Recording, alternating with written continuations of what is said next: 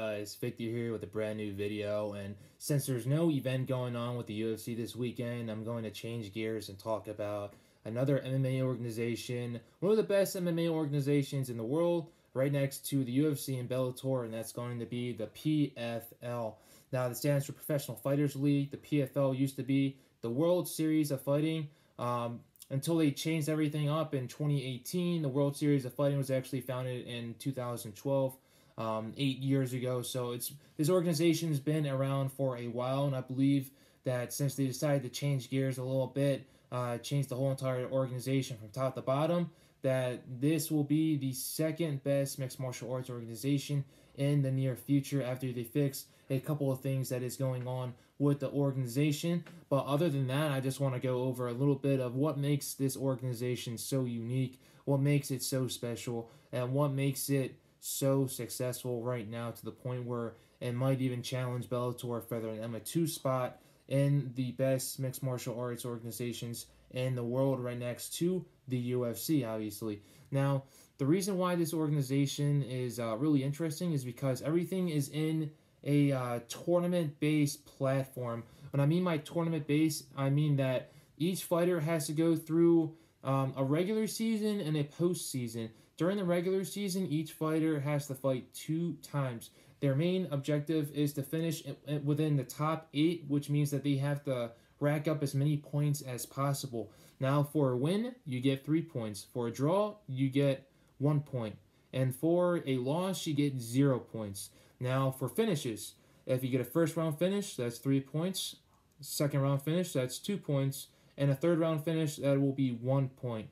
So, for ex- an example, if you had a first round knockout, you get three points for winning the fight and three additional points for also um, finishing the fight within the first round, which means you get six points right there. You decide to do that again within uh, within your next fight, then you end up getting 12 points, meaning that you're automatically going to go on to the playoffs.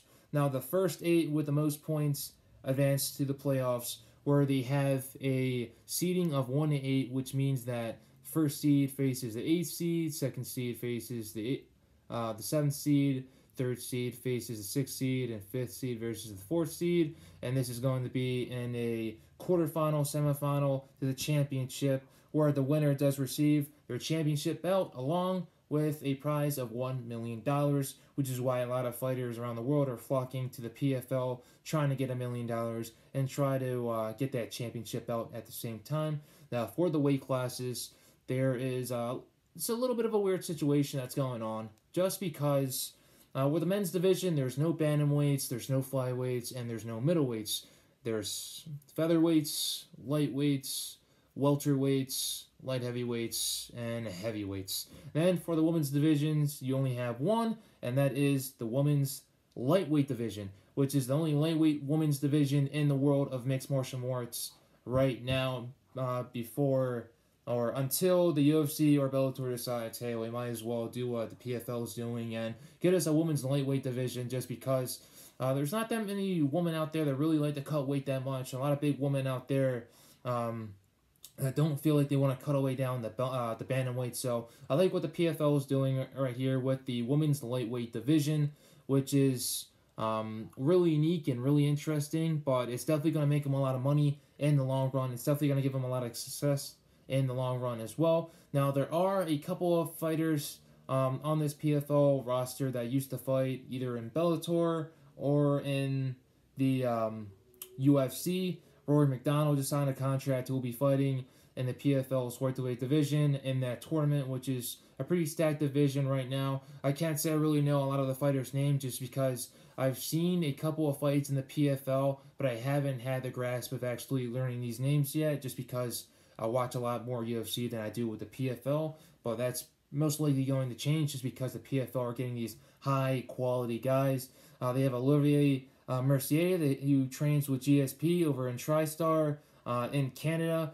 Um, he had a rough stint with the UFC, so now he's with the PFL, trying to get that championship belt in that lightweight division and trying to you know get the one million dollars as well. They also have fighters such as uh, Lance Palmer on there, with the featherweight division, who's a uh, really good mixed martial artist, definitely one of the best featherweights in the world and one of the best wrestlers in the world um, at the same time as well. So they have some really good fighters uh, with the PFL. I just don't like how they're having these gaps with uh, divisions. I don't like how there's only one women's division as well. Um, another thing that I kind of don't really like as well is that they have play-in tournaments that they um, that go on in different countries. So there will be a play-in tournament in and there will be a playoff tournament in Brazil, the United Arab Emirates, and uh, Russia, where four fighters come, where they compete in a uh, tournament, a semifinal matchup,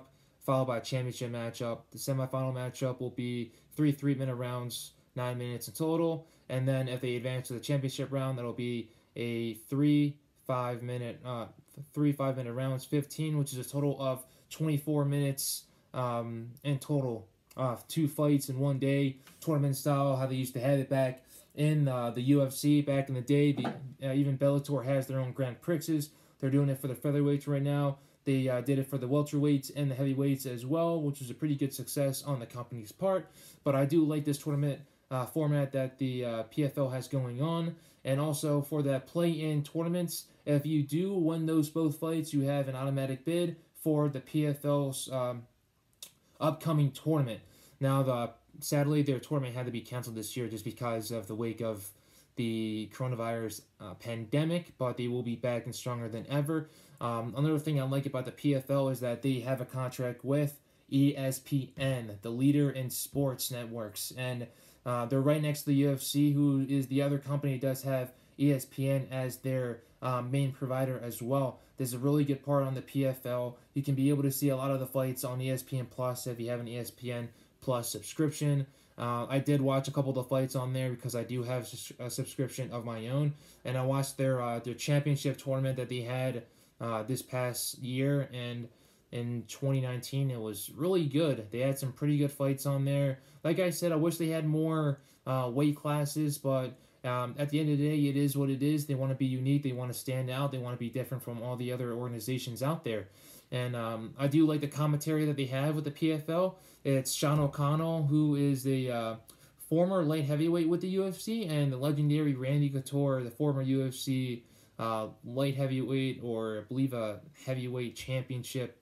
Actually, a light heavy light heavyweight champion uh, with the UFC, and those guys do an amazing job um, with calling the fights, and they have a, such a high octagon IQ. It's insane, and I do love the commentary that both those both those men uh, have. Sean O'Connell actually came over from the UFC to the PFL and won um, the lightweight.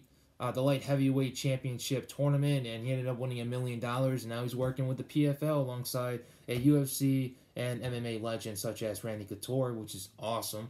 Also, uh, they have um, they they basically track a lot of statistics that are going on within the octagon. I believe they call it the uh, the smart octagon or the smart cage, where they just um, they they record everything that's going on: punches thrown, kicks thrown, uh, damage that's taken, um, octagon control. Uh, all the all those different things, and even the referees wear these glasses that have a camera hooked up, so you can see what the you can literally see what the referee's seeing um, during the fight, which is awesome. Um, I don't know what they uh, call them, um, smart glasses or something like that, but the, the the PFL referees are the only ones that use them in the whole entire sport of mixed martial arts. The only um, negative with that is that um, the the quality of um, like the vision on there um, of the of the uh, of the video it's not really so clear so if they can be able to um, definitely up it up with the whole resolution and make it a lot, uh, a lot more, a lot more clear for the fans to actually see. Then that's definitely an A plus on their part.